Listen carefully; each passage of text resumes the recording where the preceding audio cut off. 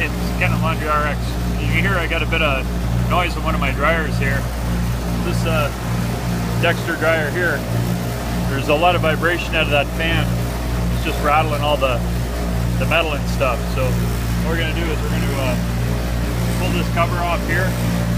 That'll let us take a look in and see if there's something on the fan itself. A lot of times you get that, it's uh, there's a dryer sheet stuck in the fan which throws it out of balance.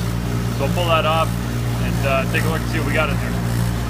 All right, so we got the cover off here. See if I can get my trusty headlamp lined up and see what's going on. But what you can see back in there is, move that right inside of there.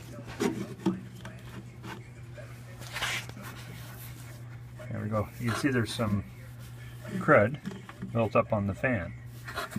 So I got the power shut off to it, and as you spin that around, you see there's chunks of lint and various pieces in there. So what we'll do is we'll go ahead and clean that out. Uh, we'll clean out the the bottom one down here as well. Well, we got it shut off. It only takes a couple minutes. Just uh, pull these five or six screws off on that that cover. Again, make sure you get the power shut off, and then you can just reach in and with tiny fingers. Just, uh, try and get that loose. It'll drop down inside if uh, you can't get it out and you just pull it out on the screen or reach up from the inside. So get that finished up and we'll be rock and roll again. Talk to you later.